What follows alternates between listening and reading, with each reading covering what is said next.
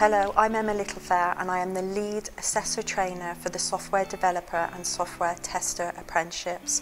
I'm also the programming lead for the cyber security apprenticeship degree that we offer.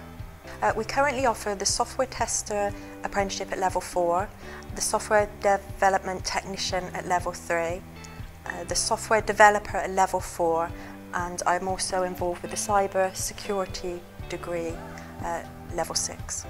I like seeing that the journey that the apprentices take from walking through the door on day one uh, to when they actually complete and the job roles and the promotions that they get um, and the skill that I can see that they are developing along the way, um, anything through an 18 month programme and some of our programmes are level fours are two years and how they develop.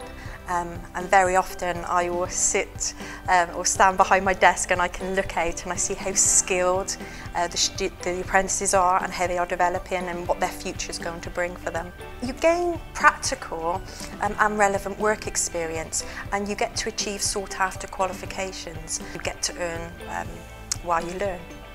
Uh, apprenticeships um, are an amazing opportunity for you to develop your skill set. The advice I would give to you is keep developing your skills if you've got something that interests you. Um, get a good CV, um, register with Gloucestershire College and also start looking um, to see employers, local employers in the areas um, and building a portfolio of the work that you have completed. Happy National Apprenticeship Week. congratulations to my um, previous uh, apprentices who have succeeded. Um, and for ones which are currently looking for an apprenticeship don't give up keep looking.